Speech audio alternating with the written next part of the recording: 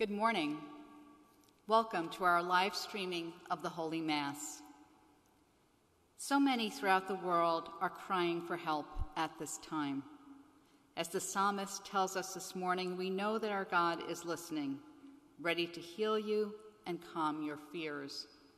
Today we ask God to open our eyes so that we can see, to open our ears so that we can hear, to open our hearts so that we feel God's angels surrounding us with love.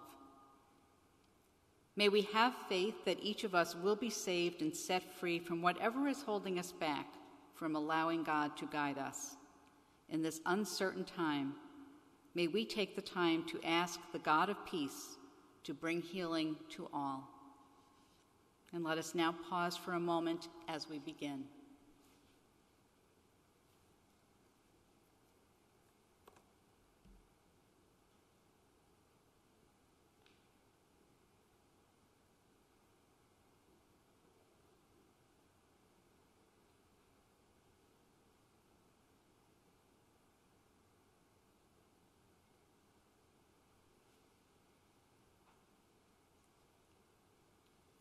Name of the Father, and of the Son, and of the Holy Spirit. Amen. The grace of our Lord Jesus Christ, and the love of God, and the communion of the Holy Spirit be with you all. And with your spirit. My brothers and sisters, let us acknowledge our sins and so prepare ourselves to celebrate the sacred mysteries. Lord Jesus, light of the world, you heal the sick and dying. Lord, have mercy. Lord, have mercy. Christ Jesus, light of the world, you call us to turn away from sin and believe. Christ, have mercy. Christ, have mercy. Lord Jesus, light of the world, you call us out of darkness into your wonderful light. Lord, have mercy. Lord, have mercy. And may Almighty God have mercy on us, forgive us of our sins, and bring us to everlasting life. Amen. Let us pray.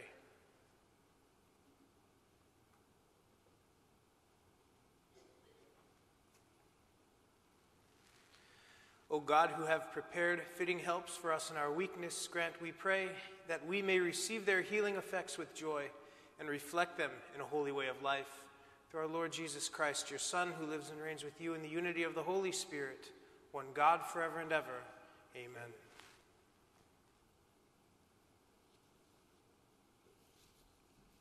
A reading from the Book of Wisdom. The wicked said among themselves, thinking not aright, let us beset the just one, because he is obnoxious to us. He sets himself against our doings, reproaches us for transgressions of the law, and charges us with violations of our training. He professes to have knowledge of God and styles himself a child of the Lord. To us, he is the censure of our thoughts. Merely to see him is a hardship for us, because his life is not like that of others, and different are his ways. He judges us debased. He holds aloof from our paths as from things impure. He calls blessed the destiny of the just and boasts that God is his Father. Let us see whether his words be true. Let us find out what will happen to him. For if the just one be the Son of God, he will defend him and deliver him from the hand of his foes. With revilement and torture, let us put him to the test, that we may have proof of his gentleness and try his patience. Let us condemn him to a shameful death, for according to his own words, God will take care of him. These were their thoughts, but they erred. For their wickedness blinded them and they knew not the hidden counsels of God. Neither did they count on a recompense of holiness, nor discern the innocent soul's reward. The word of the Lord. The Lord is close to the brokenhearted. The Lord is close to the brokenhearted. The Lord confronts the evildoers to destroy remembrance of them from the earth. When the just cry out, the Lord hears them, and from all their distress he rescues them. The Lord, the Lord is, is, close, to, to the brokenhearted. The Lord is close to the brokenhearted, and those who are crushed in spirit he saves. Many are the troubles of the just man, but out of them all the Lord delivers him. The Lord, the Lord is, is close to the brokenhearted. He watches over all his bones, not one of them shall be broken. The Lord redeems the lives of his servants. No one incurs guilt who takes refuge in him. The Lord is close to the brokenhearted.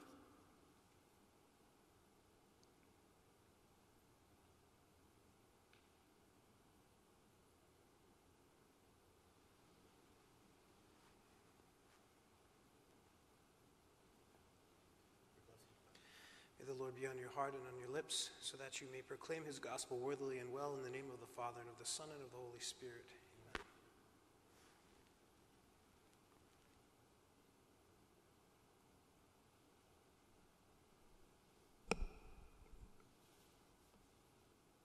The Lord be with you. A reading from the Holy Gospel according to John. Jesus moved around about within Galilee. He did not wish to travel to Judea because the Jews were trying to kill him. But the Jewish feast of the tabernacles was near. But when his brothers had gone up to the feast, he also went up, not openly, but as if it were in secret. Some of the inhabitants of Jerusalem said, Is he not the one they are trying to kill? And look, he's speaking openly, and they say nothing to him. Could the authorities have realized that he is the Christ? But we know where he is from. When the Christ comes, no one will know where he is from. So Jesus cried out in the temple area as he was teaching and said, You know me, and also know where I am from. Yet I did not come on my own, but the one who sent me, whom you do not know, is true. I know him because I am from him, and he sent me. So they tried to arrest him, but no one laid a hand upon him, because his hour had not yet come. The Gospel of the Lord. Praise to you, Lord Jesus Christ.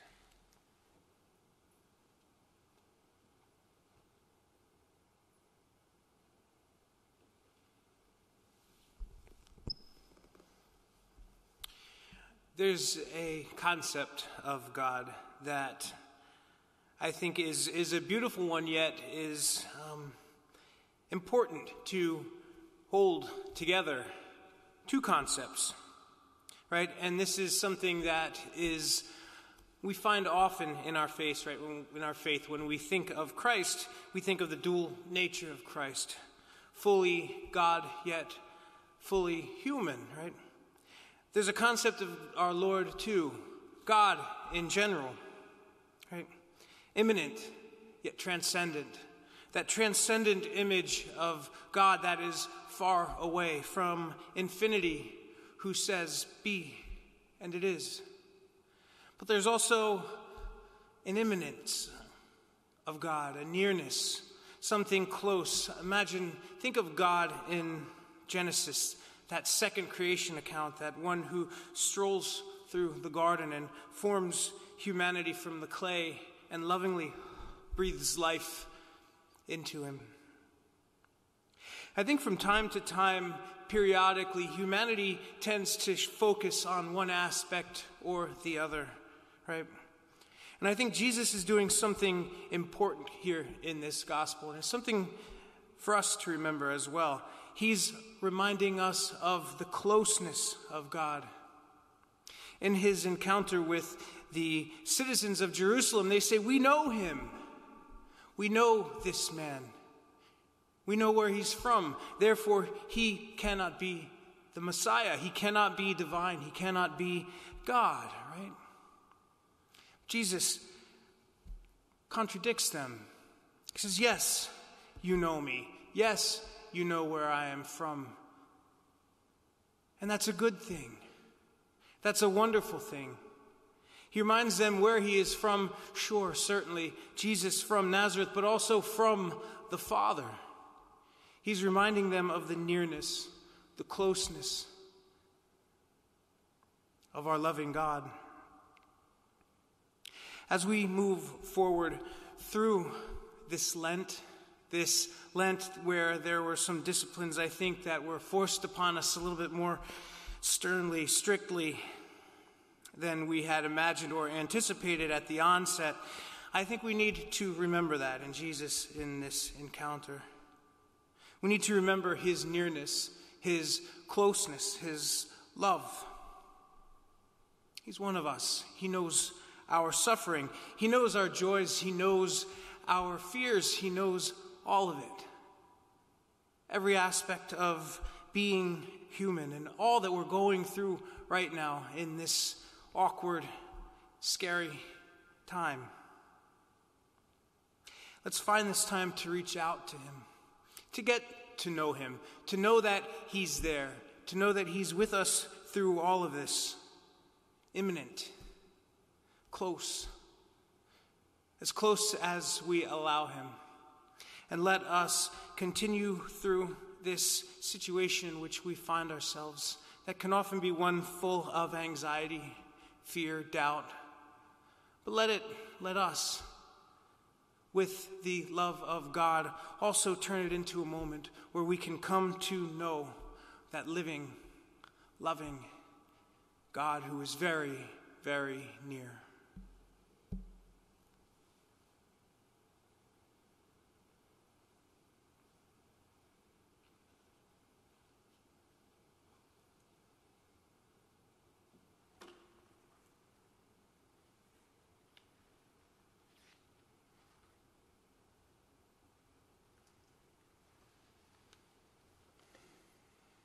Presence of Christ is our safe place and our strength. Without fear, let us pray for all those in need. For the church, to bring message of Christ to the world. For pastoral workers, to receive grace and strength as they continue the ministry of the church through these difficult times. We pray to the Lord. Lord, hear our prayer. For peace throughout the world, we pray to the Lord. Lord, hear our prayer. For those who use creative ways to show love, may they continue to reach out to those most in need. We pray to the Lord. Lord, hear our prayer. For all of us, that we continue to have the patience to recognize everyday blessings and miracles, we pray to the Lord.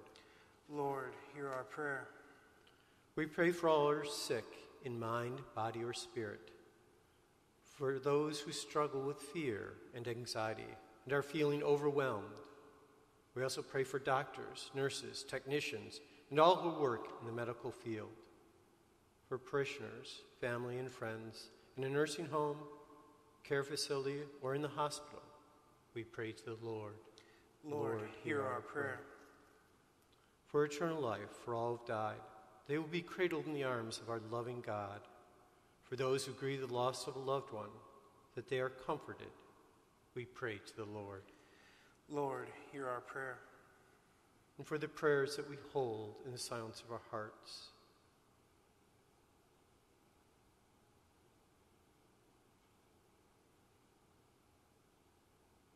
We pray to the Lord. Lord, Lord hear, hear our prayer. prayer. O God of abundant care, we give thanks for each new day and for new opportunities to experience your generous gift of life. We are grateful for the gift of your Son. We implore your help as we faithfully journey through this uncertain time. We ask that you grant our prayers through Christ our Lord. Amen.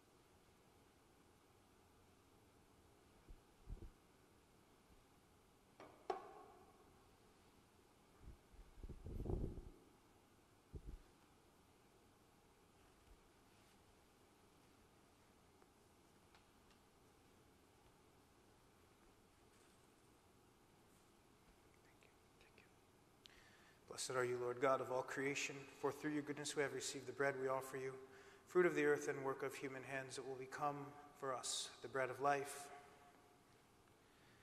Blessed are you, Lord God of all creation, for through your goodness we have received the wine we offer you, fruit of the vine and work of human hands that will become our spiritual drink. Blessed be God forever. With humble spirit and contrite heart, may we be accepted by you, O Lord, and may our sacrifice in your sight this day be pleasing to you, Lord our God. Wash me, O Lord, from my iniquities, cleanse me of my sins.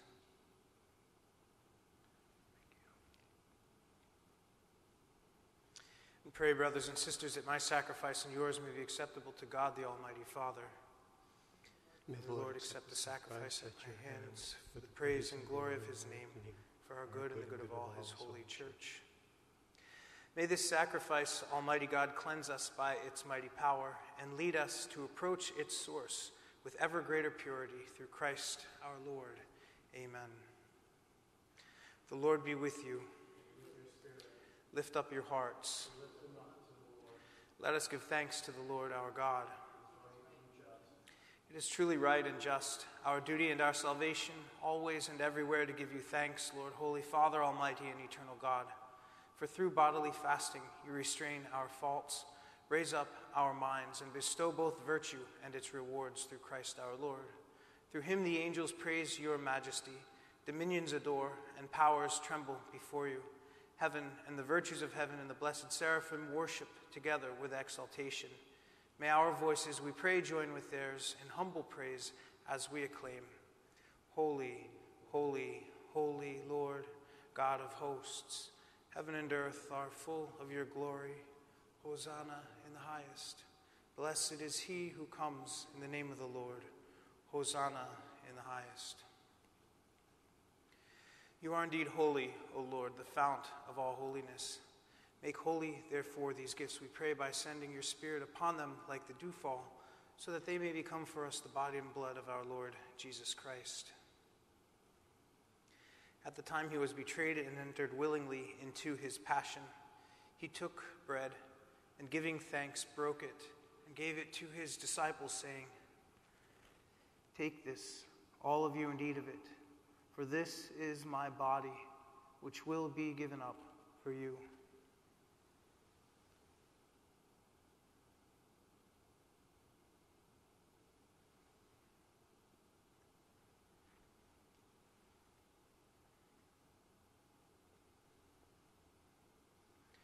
In a similar way, when supper was ended, he took the chalice, and once more giving thanks, he gave it to his disciples, saying, Take this, all of you, and drink from it, for this is the chalice of my blood, the blood of the new and eternal covenant, which will be poured out for you and for many for the forgiveness of sins.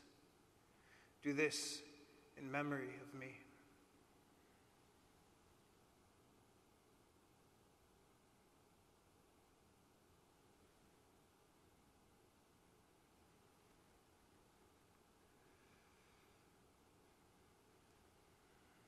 The mystery of faith.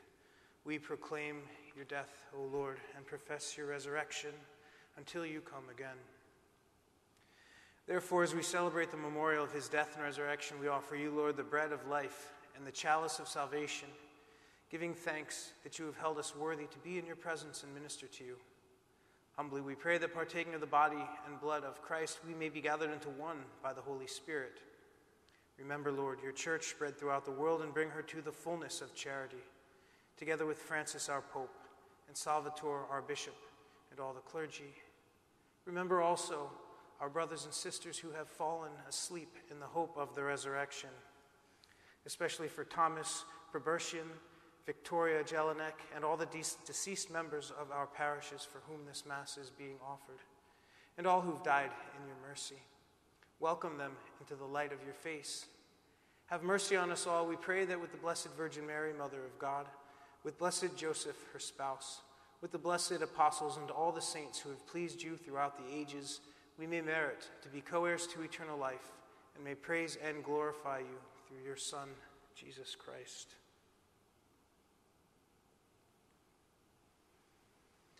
Through him and with him and in him O God, Almighty Father, in the unity of the Holy Spirit. All glory and honor is yours forever and ever. Amen.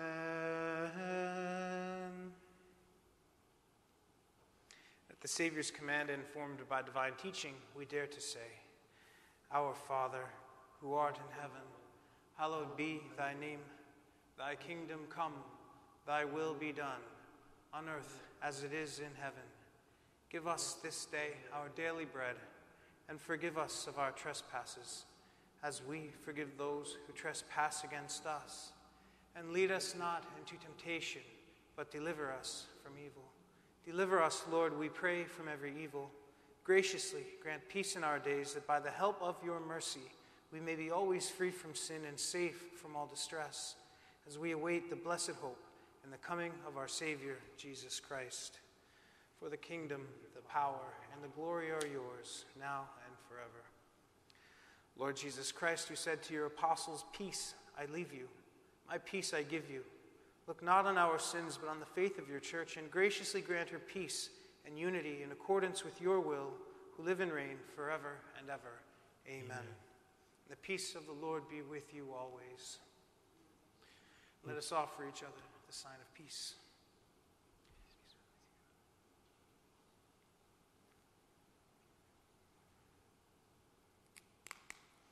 May this mingling of the body and blood of our Lord Jesus Christ grant eternal life to those who receive it. Agnus Dei, qui tollis peccata mundi, miserere nobis. Agnus Dei, qui tollis peccata mundi, miserere nobis. Agnus Dei, qui tollis peccata mundi, dona nobis pacem. Lord Jesus Christ, Son of the living God, who by the will of the Father and the work of the Holy Spirit through your death gave life to the world, free me by this your most holy body and blood from all my sins and from every evil. Keep me always faithful to your commandments, and never let me be parted from you.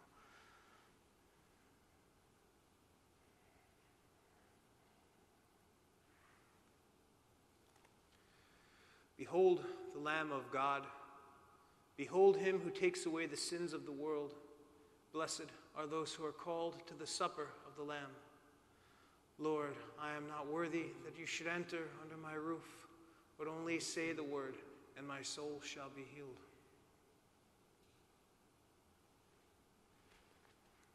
May the body of Christ keep me safe for eternal life.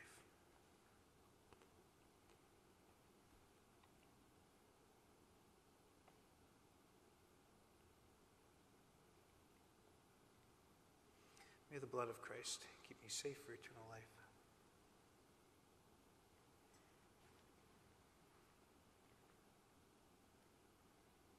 Body of Christ.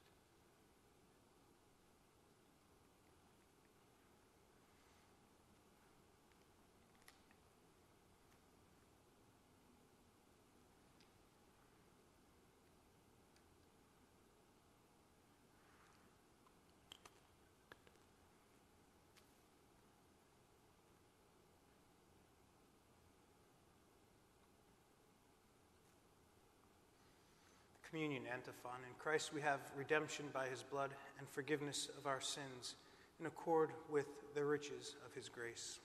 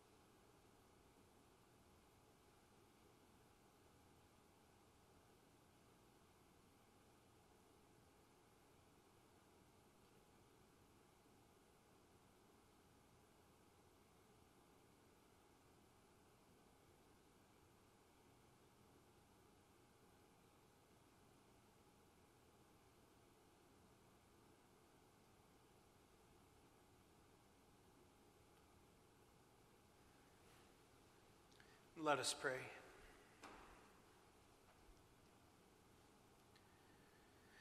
Grant, we pray, O Lord, that as we pass from old to new, so with former ways left behind, we may, we, we may be renewed in holiness of mind through Christ our Lord.